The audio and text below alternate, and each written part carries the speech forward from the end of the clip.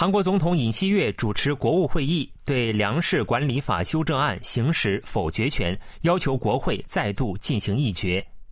尹锡悦表示，粮食管理法修正案不利于农业发展，是典型的民粹主义法案。当天的国务会议就粮食管理法修正案再议要求案进行了审议。尹锡悦表示，修正案在未进行充分讨论的情况下被单方面予以处理，对此感到遗憾。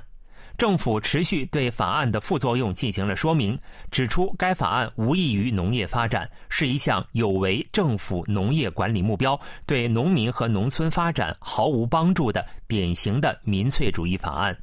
尹锡悦表示，这份粮食管理法修正案无视市场大米消费情况，要求无条件使用税金购买所有剩余大米，是剩余大米强制收购法。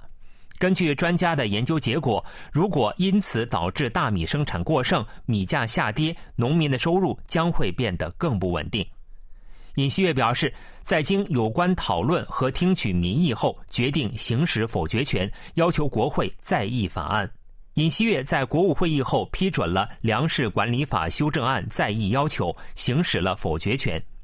这是二零一六年以后总统时隔七年行使否决权，也是韩国宪政史上第六十七次行使否决权。